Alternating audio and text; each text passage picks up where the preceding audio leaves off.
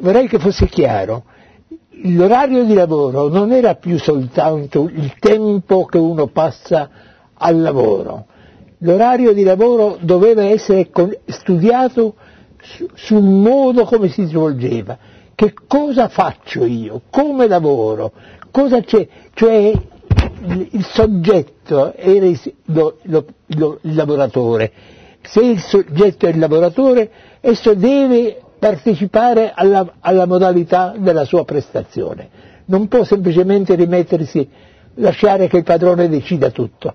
Oggi noi assistiamo, secondo me, in modo molto pericoloso a un frazionamento della classe operaia, alla perdita di rilievo della figura stessa del, della della, del, sì, del lavoratore come, come interlocutore, davvero. Questo lo stiamo perdendo.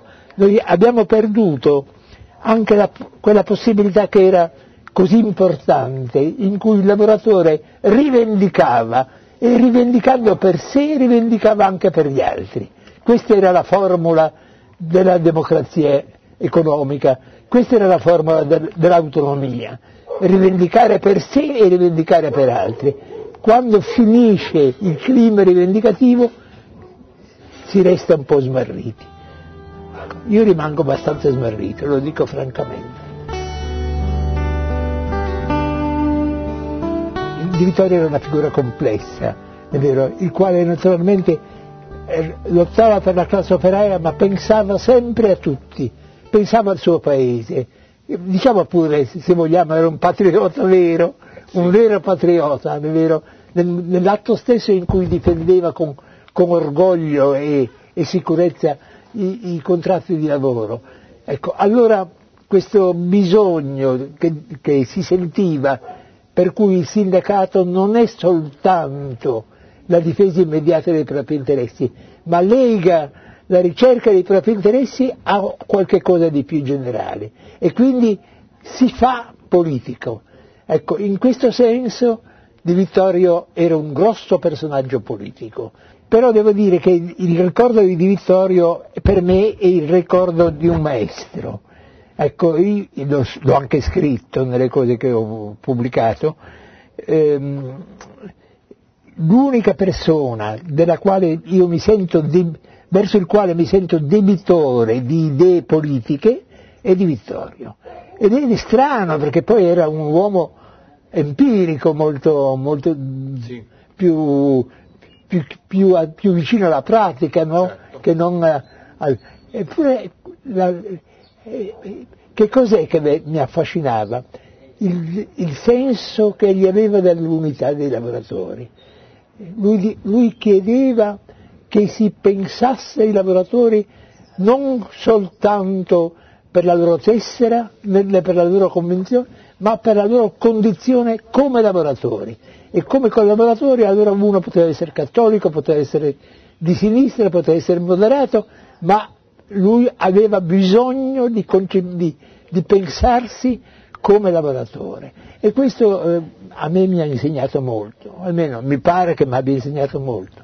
No, la centralizzazione contrattuale di Vittorio l'accettò anche con delle formule politiche divertenti, dicendo che nella centralizzazione contrattuale c'era il modo di risentire l'unità dell'Italia sì, e altre cose del genere. Però Di Vittorio quando, quando ci ponemmo dopo le sconfitte della Fiat il problema dell'articolazione contrattuale, sì. Di Vittorio capì benissimo che bisognava aprirsi al mondo e non, non chiudersi nei modelli eh, sempre omogenei. E, ecco, in questo Di Vittorio per me è rimasto un esempio.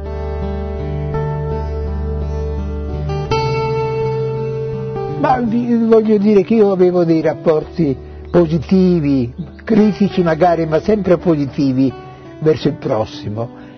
Mi voglio ricordare per esempio che io ho eh, Oscar Luigi Scalfaro, sì. era un mio collega. Sì. Beh, io lo ricordo bene, lo ricordo nonostante le polemiche di allora, sì. io lo ricordo come un uomo scrupoloso. Certo. ecco, ecco, non, eh, Andreotti che ho conosciuto meglio, Andreotti certo presentava molti elementi più che ambigui, perplessità, che creavano perplessità, proprio la, la straordinaria sua intelligenza copriva con tanta mm. capacità vari campi che, che poneva dei problemi, però indubbiamente era una figura di grande interesse. E poi devo dire, soprattutto nel Partito Comunista, Togliatti mi è sempre piaciuto molto. Ero molto legato a Riccardo Lombardi e fino a che è stato possibile ci siamo battuti per queste, queste cose libertà, del sì, partito d'azione, giustizia e libertà, eccetera. Ma siamo durati veramente poco perché certo. nella, la situazione poi è, è scivolata rapidamente nel, nel regime, nel regime dei, dei tre grandi partiti. Ci sono molte cose ancora importanti, però ci sono anche molte cose da ripensare. Io non credo che dobbiamo pensare di modificare, dobbiamo intanto ripensare.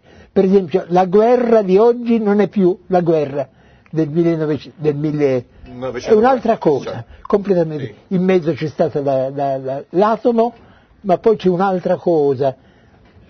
Allora non c'era una cosa orrenda come quella che dal cielo tu puoi ammazzare senza che si sappia chi c'è su, sì. che ti ammazza. Sì. Questa è una cosa orrenda, i bombardamenti, è vero? e, e altre cose del genere. E, mm, ci, ci da cambiare. C'è da cambiare molte cose nella, nella ricerca.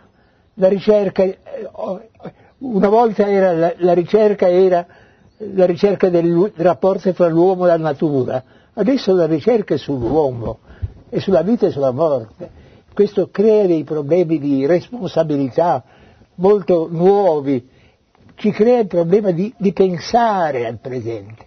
Poi ci sono altre cose ancora sul modo di, di organizzare la nostra vita economica.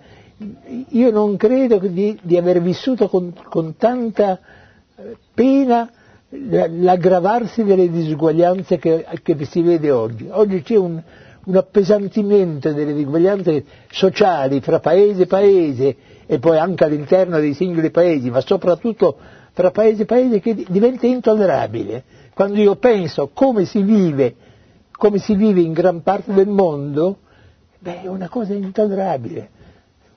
E, e, senza, e senza, che io abbia ancora la capacità di, di cambiare queste cose. Sì, sì. Perché queste disuguaglianze fra paese e paese sappiamo che nascono al momento della, nascono perché si nasce in un posto, in un momento, non perché per altre ragioni. È una cosa la quale mi rende triste l'idea di, delle, della crescita delle disuguaglianze. Questa è una, una cosa un, da pensarci e, mi, e, penso che le nuove generazioni, gli uomini che no, verranno dopo di me, vorrei che veramente pensassero soprattutto a questo, alle nuove disuguaglianze e all'aggravarsi delle disuguaglianze. Forse quando si parla di diritti di libertà non si, pa- non si deve parlare in, in, prima persona, ma si deve pensare ai diritti di tutti. Solo associando ai, ai diritti il, il valore collettivo noi possiamo dare un senso ai diritti. Un secondo punto, secondo me molto importante, è le garanzie quello che oggi è, è drammaticamente pericoloso nella, nell'attuale governo anche in Italia, la poca attenzione alle garanzie, anzi il desiderio di farne meno, a partire dalla giustizia, ma anche a mille altre cose. Io penso che questo problema delle, delle autonomie, delle, sì, delle autonomie e delle garanzie è un problema fondamentale